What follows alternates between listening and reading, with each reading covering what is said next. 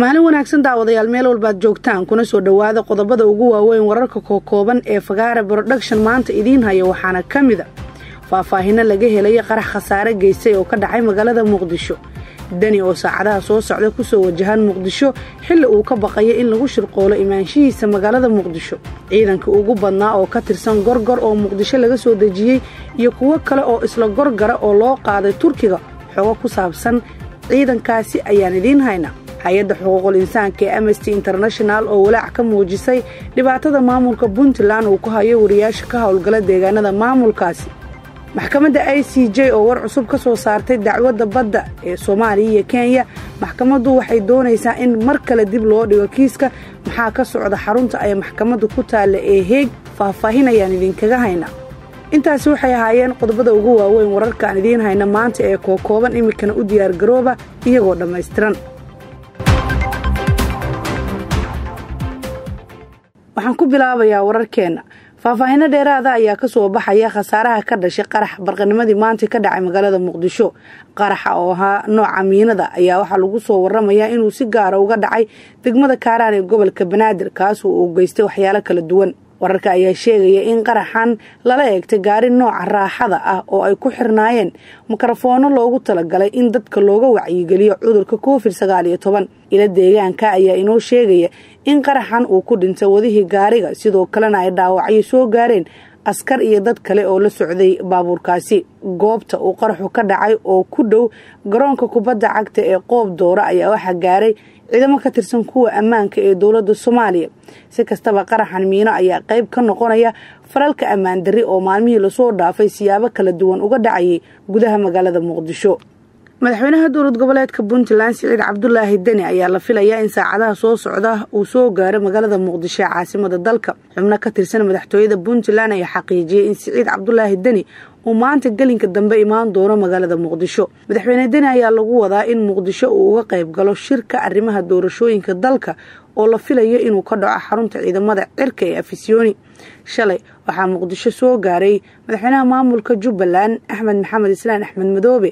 Labadan madaxweyne ayaa dhowr jeeroo hore diiday inay yimaadaan muqdisho. Dhinaca kale waxaa toddobaadkan la filayaa in uu muqdisho ka furmo shir u dhexeeya madaxweynaha soomaaliya maxamed cabdulaahi farmaajo iyo madaxda maamul goboleedyada sidoo kale maamulka gobolka banaadir ayaa qayb ka noqon doona. Shirkaasi waxaa looga hadli doonaa khilaafka weli ka taagan doorashada dalka iyadoo sidoo kalena la filayo in beesha caalamku ay qayb ka noqoto shirka. Fila soomaaliya ayaa horey u diiday in shirkan laga qaybgeliyo musharaxiinta mucaaradka waxaana sababta lagu sheegay inaysan ka qayb ahayn heshiiskii toddobiyo tobankii sebteembar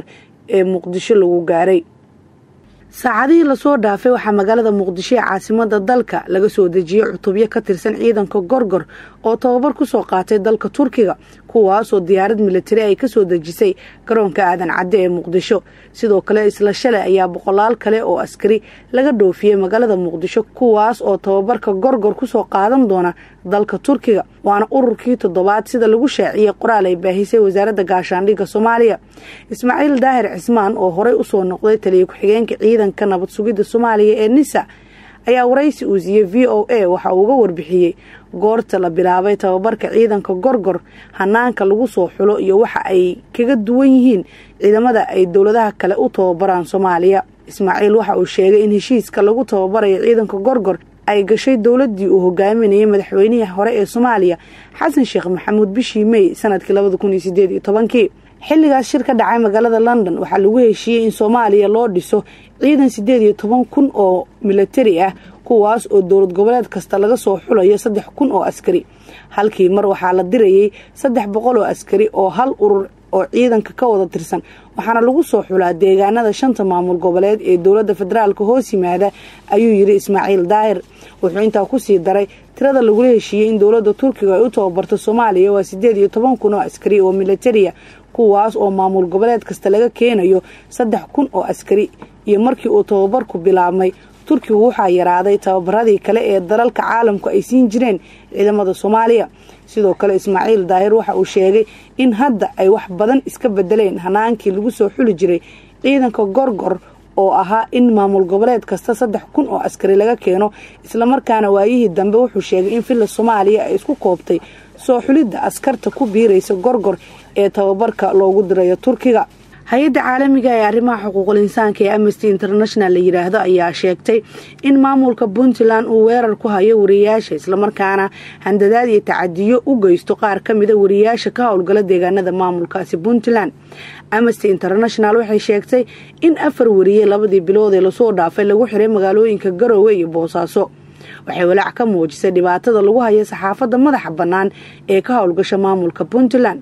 Arrinta sare u kacaysa ee ku saabsan wariyaasha lagu xiraya puntland waxay muujinaysaa inay socdaan howlgallada ka dhankaa saxaafadda madaxa bannaan. Xiritaankan wuxuu saameynayaa shaqada wariyaha ee xilligan doorashada ayaa lagu yiri war-saxaafadeed ka soo baxay amnesty international hay'adda amnesty ayaa ugu baaqday maamulka puntland inuu joojiyo xariga iyo tacadiyada ka dhankaa wariyaasha ka howlgala dalka wariyaasha ka howlgala maamulkaasi. Mas'uuliyiintu waa inay qadariyaan dhowraana kuna dadaalaan ilaalinta xuquuqda aadanaha iyo saxaafadda madaxa bannaan ayay sheegtay amnesty international ugu dambeyna maxkamadda cadaaladda adduunka ee marka magaceeda la soo gaabiyo loo yaqaana i c j ayaa shaacisay jadwal ku aadan dhageysiga dacwadda badda ee u dhexeysa waddamada soomaaliya iyo kenya qoraal ka soo baxay maxkamadda ayaa lagu sheegay in dhageysiga dacwadda uu si toosa u bilaaban doono shan iyo tobanka bishan maarso waxaana dooda ku horeyn doonta soomaaliya. Sidoo kale i c j ayaa shaaca ka qaaday in wareega koowaad ee dhageysiga dacwadda uu socon doono shan iyo tobanka ilaa sagaal iyo tobanka bisha maarso ee sanadkan labada kun iyo koob iyo labaatanka. Jadwalka ayaa sidoo kale lagu muujiyey in wareega labaad ee dacwadda dib laysugu soo noqon doono labaiyo labaatanka bisha islamarkaana ay doodu socon doonto ilaa afar iyo bisha maarso. Si kastaba soomaaliya ayaa dirsatay guddi gaar ah oo u qaabilsan dhageysiga dacwadda kuwaasoo haatan ku sugan magaalada heeg waxaana hogaaminaya siihayaha ra'iisul wasaare ku-xigeenka xukuumadda soomaaliya mahdi maxamed guuleed qadar. Waataa daawadayaal wararkii kookoobnaa ee aad ka daawanayseen fagaara production waa naga intaa maanta intaan warkaan war lamida ku kulmi doono nabadgelyo